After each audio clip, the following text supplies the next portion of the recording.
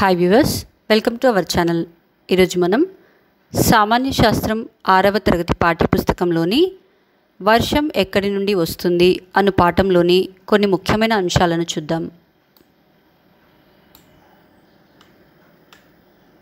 వాన చినుకు గంటకు ఏడు నుంచి పద్దెనిమిది మైళ్ళ వేగంతో ప్రయాణిస్తుంది. వాన చినుకు సున్నా పాయింట్ సున్నా రెండు అంగుళాల నుంచి సున్నా పాయింట్ మూడు ఒకటి అంగుళాల వ్యాసార్థం కలిగి ఉంటుంది. బాణచినుకు యొక్క ఆకారం నిజానికి గుండ్రంగా ఉండదు. మేఘాల్లో నుంచి జారిపడుతున్నప్పుడు అది మనకు అలా కనిపిస్తుంది. ఈజిప్ట్ దేశస్థులు గొడుగును రూపొందించడం జరిగింది.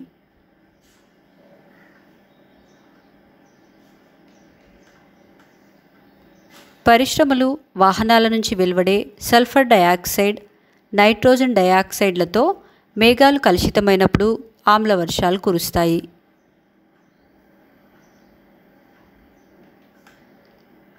భూమధ్య రేఖా ప్రాంత అరణ్యాలలో సతత హరిత అరణ్యాలలో ఎగిరే ఉడతలు పాములు ఉంటాయి.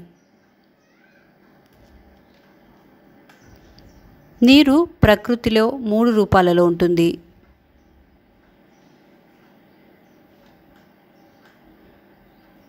నీటిని నీటి ఆవిరిగా మార్చే ప్రక్రియనే బాష్పీభవనం అంటారు నీటి ఆవిరి నీరుగా మారే ప్రక్రియనే సాంద్రీకరణం అంటారు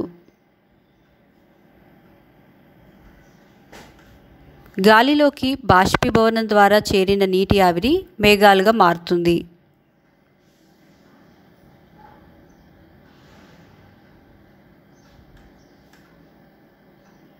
కొన్ని సందర్భాలలో పెద్ద పెద్ద నీటి బిందువులు ఘనీభవించి మంచు ముక్కలుగా కిందకు పడతాయి. వీటినే మనం వడగండ్లు అంటాము.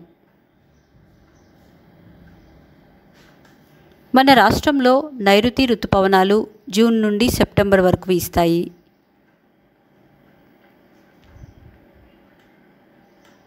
మన రాష్ట్రంలో ఈశాన్య ఋతుపవనాలు నవంబర్ డిసెంబర్ నెలలలో వీస్తాయి.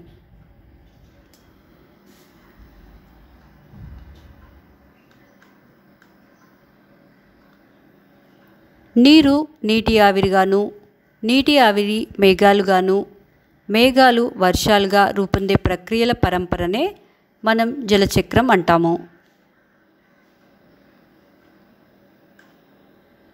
ప్లాస్టిక్ సంచులు ఎక్కువగా వాడటం వలన భూగర్భ జలాలు తగ్గి కరువులు వస్తాయి.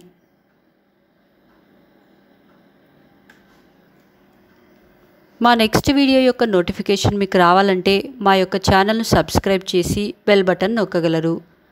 మా వీడియోస్ను షేర్ షేర్ చేయగలరు.